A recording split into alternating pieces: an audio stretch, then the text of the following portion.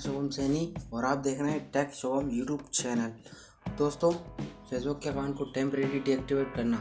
हाँ दोस्तों फेसबुक के अकाउंट को टेम्परेरी डीएक्टिवेट करना। आज मैं आपको इस वीडियो में बताने वाला हूँ। तो चलिए शुरू करते हैं आज का वीडियो।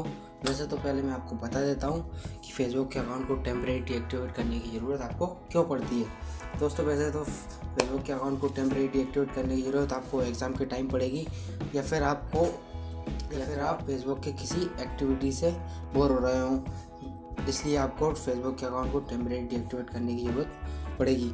इसलिए temporary deactivation more than seven days का होता है।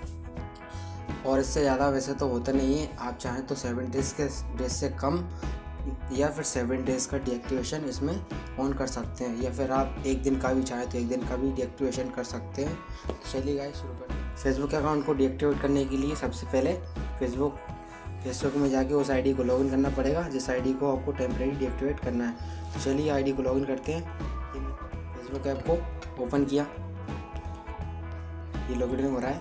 ये ओपन करने के बाद मैं इसमें अपनी आईडी या मोबाइल नंबर डाल देता हूँ। ये मैंने मोबाइल नंबर डाल दिया।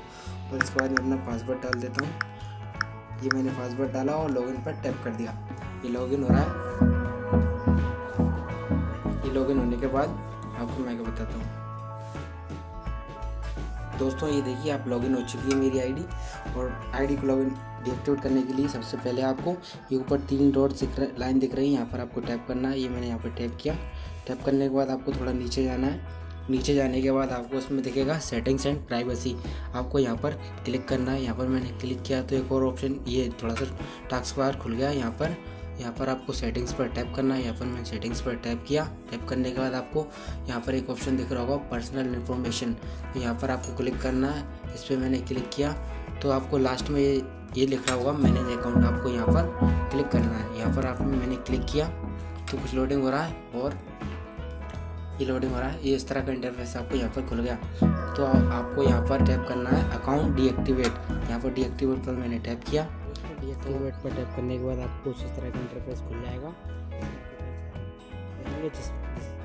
इसके इसके अकॉर्डिंग आप अपने अकाउंट को टेम्परेरी डीएक्टिवेट कर सकते हैं। जैसे कि यह इसमें लिखा हुआ है this is temporary I will be back मतलब कि आप इस, कुछ टाइम के लिए टेम्परेरी इस अकाउंट को ब्लॉक कर रहे हैं या डीएक्टिवेट कर रहे हैं और कुछ समय बाद इस पर वापस आएँगे या फिर आप अदर पर टैप करके इस कमेंट डाउन सेक्शन में इंटर बॉक्स में लिख कर आप अपना रीज़न दिखा सकते हैं कि आप अपने अकाउंट को क्यों डीएक्टिवेट कर रहे हैं। तो अब मैं आपको टेम्परेरी डीएक्टिवेट करके दिखा देता हूँ।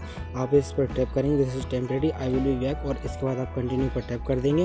इसके बाद आपको इसमें इस तरह का इंटरफेस खुल जाएगा, जिसमें आपको दिखाना पड़ेगा कि आप कितने दिन के लिए अपना अकाउंट टेम्परेरी डीएक्टिवेट करना चाहते हैं। तो अब मैं इसके टू टू डेज़ के लिए इसको सेट कर देता हूँ और कंटिन्यू पर टैप कर देता हूँ। कंटिन्यू पर टैप करने के बाद इसमें लिखा आपको कीप यूजिंग मैसेंजर इस पर टैप कर देना है और opt out of receiving feature notification from Facebook इस पर भी आपको क्लिक कर देना है। इसके बाद आपको डीएक्टिवेट माई अकाउंट पर टैप करना है।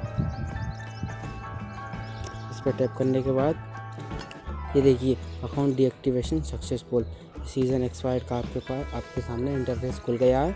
मतलब कि आपका अकाउंट टेम्प्रेरी डीएक्टिवेट हो चुका है। तो गाइस ये था आज का वीडियो जिसमें मैंने आपको बताया कि फेसबुक के अकाउंट को टेम्प्रेरी डीएक्टिवेट कैसे कर सकते हैं?